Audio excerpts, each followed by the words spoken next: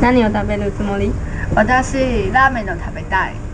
さっきボスはめちゃめちゃうるさい。えー、どうしたんですか？彼はエッチな話をしてくれた。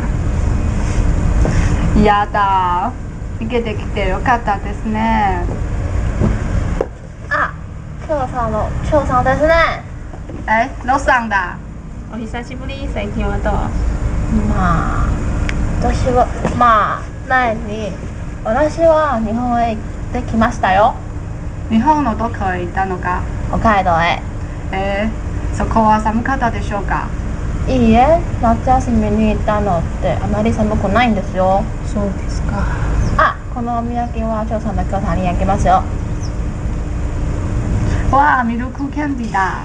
見たことないパッケージもちろん。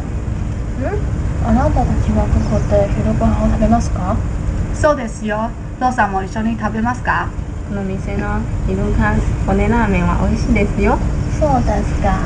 じゃあ私も一つお願いします。ロさん北海道で何をしたんですか？晩間旅でしたよ。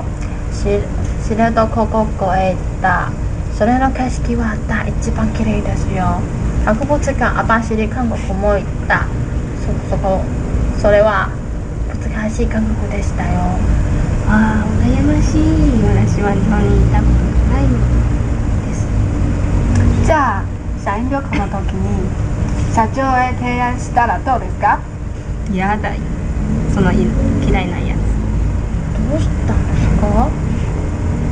うちの社長はね本当にとんでもない人ですよ他人の仕事を私にくれたし昼休みも残業する。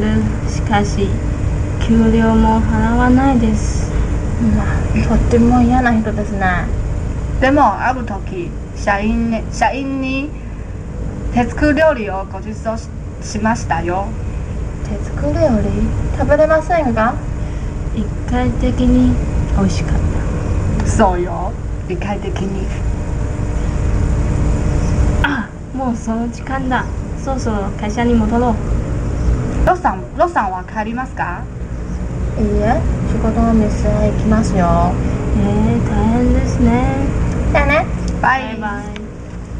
じゃあ私たちそろそろ戻りましょうか仕事を直面したくない